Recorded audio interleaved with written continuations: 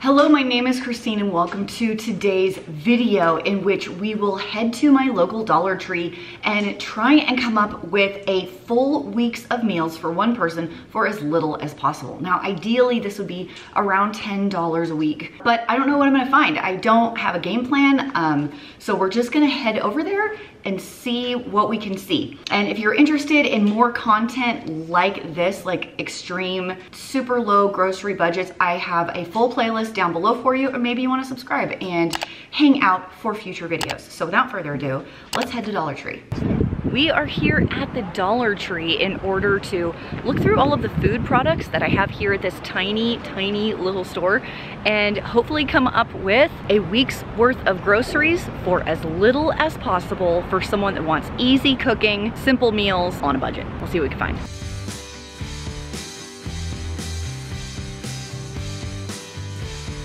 Here are my breakfast options that I found at my Dollar Tree in the non-refrigerated section. So you can get something as small as cream of wheat. The problem with this is that there's only three packets in here, so you would need more than one of these to make that worth it. So for me, this is a no. Another option are the oatmeal packets. There are six in here. So this would not quite make it an entire week. So you're a little shy on the volume, but bold statement, maple and brown sugar, best flavor of instant oatmeal packets. Do you agree or disagree? And if you look here at the total weight, you're looking at nine ounces, so a little over half a pound. In comparison to just the whole one minute quick oats is an entire pound, so almost double this one for the same price. So with these two, I would much rather go with this one. And you can cook this in the microwave exactly the same with your own maple syrup at your house or brown sugar at your house and it will be just as easy and a lot more bang for your buck. So let's put this one in the cart as a maybe. A few more options is I did find this 12 ounce box of Honey Nut toasted, well, fake Cheerios, I guess. And this does say eight servings per container. So you could definitely get through an entire week with just cereal every day.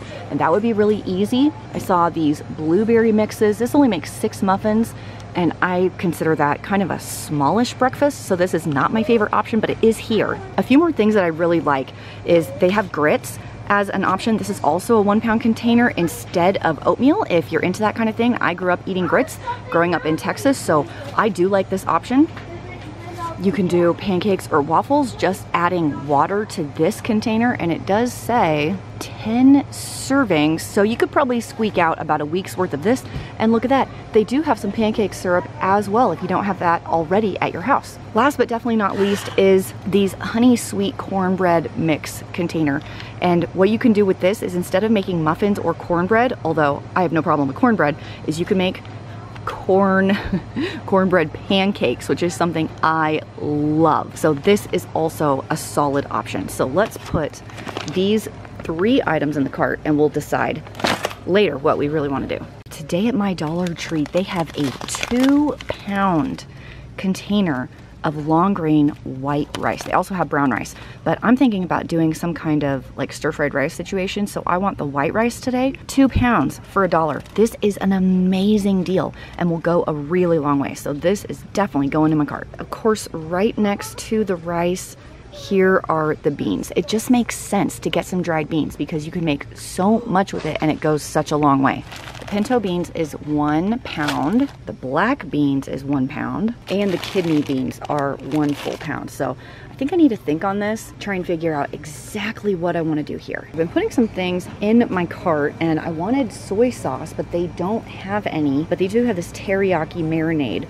to go with my stir-fried rice. Is this something I should buy? Is this gonna be disgusting or should I just use the soy sauce I already have at my house and add a dollar in case like I did buy it here. I can get it at Walmart for not very much. Kind of wanted to make my own here. I'm gonna think on that, but I did get some chicken bouillon cubes just because these are so good to season anything with. And I did find this one pound of brown cane sugar, which I thought I could make my own stir-fried rice because I like a little bit brown sugar in mine. I did pick up some eggs right here, spring rolls.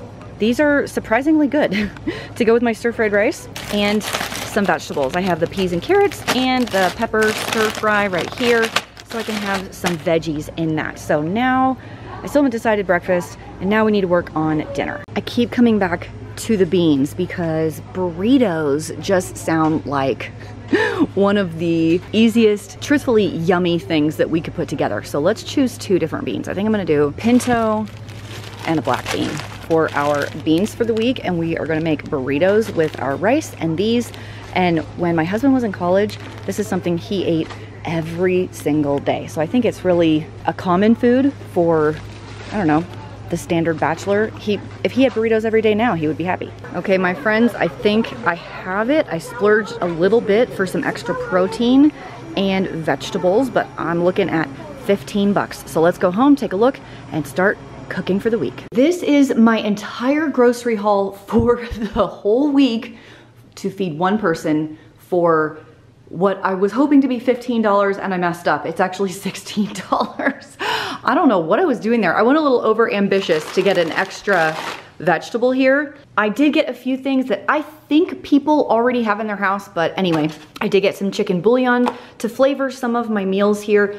And of course, I am assuming that you have like salt, pepper, some kind of fat to cook with, whether that's butter or oil or bacon fat or shortening or whatever. So I do need to do a little bit of prep work for my entire week, and that's to cook all of my rice and to start soaking all of my beans so I can go ahead and cook those for my dinners as well. So let's do that right now. Oh, I should have mentioned I splurged on these to go with my stir fried rice for all of my lunches for the week. So this is completely not necessary. You didn't have to do this, but these are really delicious. And if you've never tried the spring rolls from Dollar Tree, just cook them up in your air fryer or something. They're shockingly good. These are a little like extra treat. So anyway, $16 to feed one person for the whole week. Okay, I have my entire package of rice in here and I'm gonna add two of these chicken bouillon packages, which I didn't realize were gonna be little powder packets. That makes it pretty convenient just for some salt and flavor in my rice. So the lid's gonna go on this. And I have a white rice button right there. So we'll do that, hit start, and I'll see this in a few minutes. Back here in the corner, I have my beans in very large bowls of just cold water with nothing else. So these are gonna soak overnight and then I can use them to make my dinners for the week. Yeah, my rice is finished, so I fluffed it with this fork so it wouldn't just get stuck all in there. And it does have a little bit of a yellow tint because of the chicken broth, but I'm gonna let this cool because leftover cooked rice is better for fried rice dishes, like a veggie fried rice, like I'm gonna be having for lunches this week. So we're gonna let this cool a little bit, stick it in the fridge, and we will be ready for the week for lunches.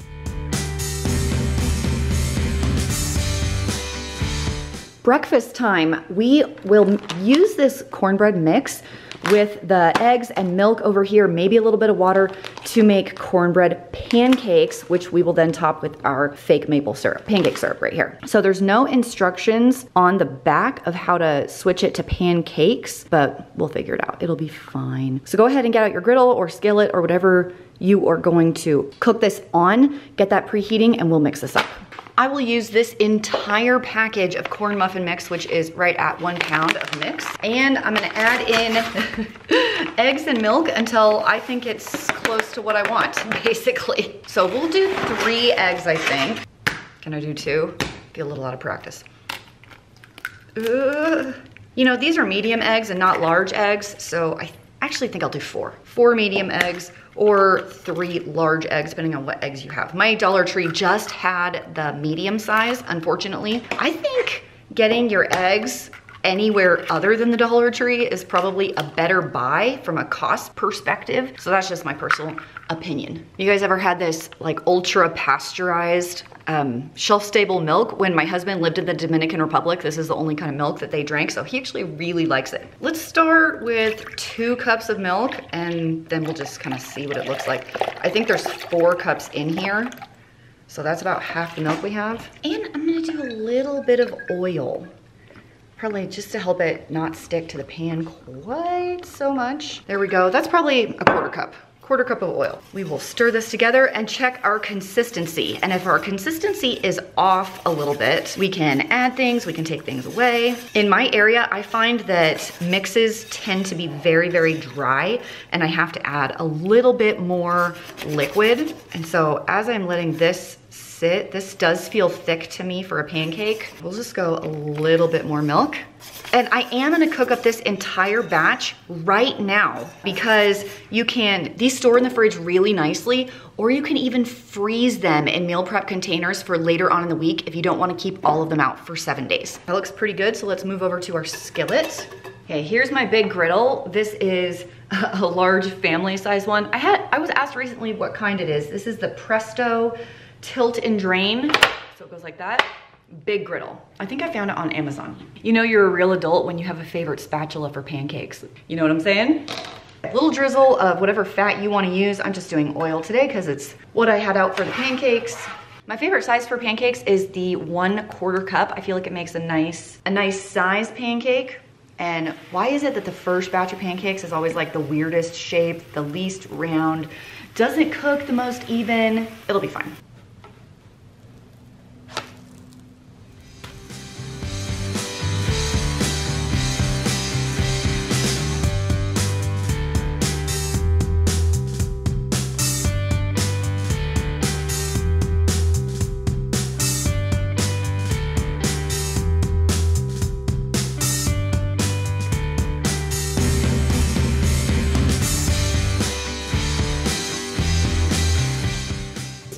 Prep my lunches for the week. I have my cooked and cold leftover rice. I think I'm gonna do this in two batches because I don't know that I could do this entire container in one pan just because it's so much. And I have my frozen spring rolls you just cook the day of. Rice is really easy to make ahead and then freeze. So you could do this whole batch if you have a bigger pan than I do. Freeze it in individual portions. And I'm gonna use this whole peas and carrots container and this pepper stir fry, but these are too big. So I'm gonna chop these a little bit smaller and get these sauteing in a pan. And we'll use this teriyaki marinade. It's, it's not quite the right sauce. But like I said earlier, my Dollar Tree didn't have any soy sauce today, so we're just gonna go with this and hopefully thin it out with some chicken broth.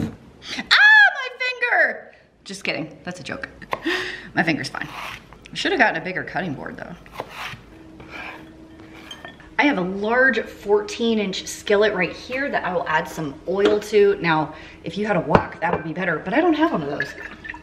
So we'll just go with this. In that, I have my peppers and onions right here. I mean, you can tell how many vegetables this is. It takes up almost my whole pan. And my peas and carrots. I'm just gonna cook these until, well, this is on high, but it doesn't seem to be sizzling very much. I will cook these until everything is soft and then we'll throw in our rice, our seasoning, and our eggs. I took out half my vegetables and put them in a container to mix this up fresh later on in the week. So I'm gonna finish up this first half batch by adding a little bit more oil and now my rice. Half of my pre-cooked chilled rice is going in. Come on, rice. This will go to the side with the veggies for later. I made a little well for my eggs and now that I'm looking at it, I don't know that I can fit six eggs in here, but we're gonna do the best we can. So a little bit more oil. Let's keep your fingers crossed. Okay, I think they might fit. Everything is now coming together. So I'm stirring in my eggs with all the rice and all the veggies.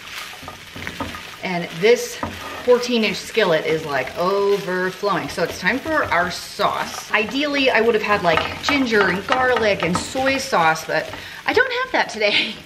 So I'm gonna put in half of my teriyaki marinade or glaze or dressing or whatever it is, because uh, I wanna save half of it for the later in the week. I will add a little bit of this bouillon here and a little bit of water. I'm just trying to thin it out just a hair. I only did half of this package. So that's the equivalent about one cup of water or broth once it's mixed. So we'll stir all this together, evaporate out any excess liquid and give it a taste. Of course, if you have some chicken in your freezer or canned chicken or something like that, feel free to add that in for a little bit of extra protein and calories. Uh, I'd say this teriyaki's a little on the sweet side and a little goes a long way. I actually think I could add more rice to this to dilute the flavor just a little bit. This is pretty strong. So you do not need to add about as much as I added. The flavor's good, but I might wanna tone it down with a little bit more rice.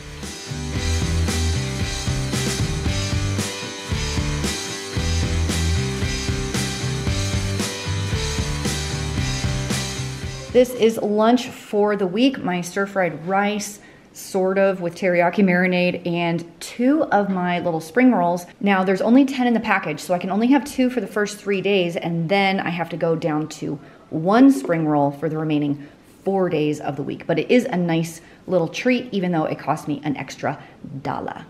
It is time to make the filling for my burritos and I'm gonna do all of it just all together in this very large mixing bowl and I can freeze half of it and pull it out later in the week or you can make all of your burritos now and freeze the fully made burrito and pull those out later too.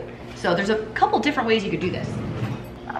This is all of the pinto beans that I cooked, the full one pound. Look how many that is. And I have an entire video on all the different ways you can cook dried beans, so I will leave that resource down below for you if you wanna go check it out. I'm gonna check my black beans because I find it difficult personally to cook black beans at home in a way that they are soft all the way through. All the other beans I don't have a hard time with, but I'm squishing that one with my finger and you see how it's just squishing really nicely. I know that these are done. So in go all of the black beans. Holy smokes, look at all, look at all this food. Now comes my rice and um, a bigger stirring utensil because this little one is just not gonna cut it, I don't think. Okay, this is like way more than I thought there was gonna be. I actually think I have too much filling for the amount of tortillas I have. So yay, too much food. When is that ever a problem, right? it is so big. We're not done, I'm gonna add something else to this. But we may just have some like bean and rice bowls for some meals as well. Okay, before I start mixing this like crazy, I am going to add this jar of salsa. This is the only brand that my Dollar Tree had. They do, you can actually get a better deal at Walmart. Uh, buying salsa from Walmart, you get a bigger container for um, a cheaper price per ounce or per like weight unit. And now that this is in, we're gonna try and stir all this together and then just taste for salt. I might add some water into that and get all the rest of this out just for a little bit more moisture and to get every last inch of flavor in this as I can. There is definitely enough of this filling to just have some bean and rice bowls like this for several of your meals. And then we also have the tortillas. So there are 12 tortillas in here. So if you wanted to do maybe three burritos for four days of the week and then three days of just the filling, you could totally do that. And like I said, you can do all of these right now. Go ahead and freeze them and then you can cook them in the microwave later. So it only takes a little bit of prep at the beginning of the week and then you're good to go for like the whole week and you're done. And it's no muss, no fuss, you don't have to think about it anymore. And these are smaller of course I'm gonna drip it on the counter. These are smaller tortillas, so I'm not gonna be good at doing the edge pieces, but that's okay. You can just do it like this and have a little bit fall out the side, like that. And then for me personally, look, both sides. For me personally, I like to put a little bit of oil in a skillet and do like a grilled stuffed burrito because it gives it a little bit of crunch, a little bit of extra fat to keep you satiated. Let's review the meals really fast and then we'll talk the numbers, which is one of my favorite things because I'm a little bit of a numbers geek. I love data, I love analyzing it. First of all, the cornbread pancakes were so good. Like I'm gonna have to make those from now on, like way more often. just from that little mix. I'm gonna go buy a few more of those mixes. They were delicious. Uh, could not say enough good things about them. Obviously, if you want the ingredients to be a little cleaner, you would do like a real maple syrup. I grew up having cornbread and stuff with honey all the time, so that's also an option, although those do cost more. And then the stir-fried rice was so good. The flavor of the little marinade packet was intense. I, I wish I had gone on the light side and then added more as I needed it. I actually ended up with still a half a bottle almost of that marinade that I still have on hand as well as some chicken broth. I still have some of that. And although it did cost more to get the little spring rolls, they were just so fun to have this little crunchy little bite uh, with the lunches. And then the dinners made so much. I could not believe how much food that made. I had leftovers of the beans and rice mixture, well over three meals a day for seven days for one person. Like it was just so much food. Because I miscalculated my dollars like what I spent. I spent $16 for 21 meals for the week breaks down to 76 cents per meal, which I think is a great price, honestly. And I could have brought that a little bit cheaper if I had not gotten the spring rolls, if I had not splurged for the extra vegetables, and if I'd done something as basic as oatmeal instead of trying to come up with a pancake with eggs on the side and syrup. The breakfast definitely added up as far as ingredients go. Don't really regret it. I also added up all of the calories for the entire week, not including the oil that I used. So if you do not include the oil, the calorie content of all of the food that I purchased divided by the 21 meals for the week came right at 600 calories per meal. 600 for breakfast, 600 for lunch, 600 for dinner. We're sitting at right at 1800 calories a day which you are definitely not going to starve on. As always, a quick reminder that if you are in need of food, you or anyone that you know, please have them reach out to your local resources in order to get the services that are available to you. This could be a, a, food bank, a food pantry, meals for seniors. There's all kinds of programs in every community. I believe you can get that information by dialing 211. I know if you reach out to your school district, police department, community, city offices, they will have that information for you. And a lot of these don't require any income verification. You just go when you need stuff, go ahead and pick it up, bring it home and feed your families. Please don't be scared to use them. That is what they are there for. As always, thank you for hanging out with me today. I love you guys and I'll see you in the next video. Bye.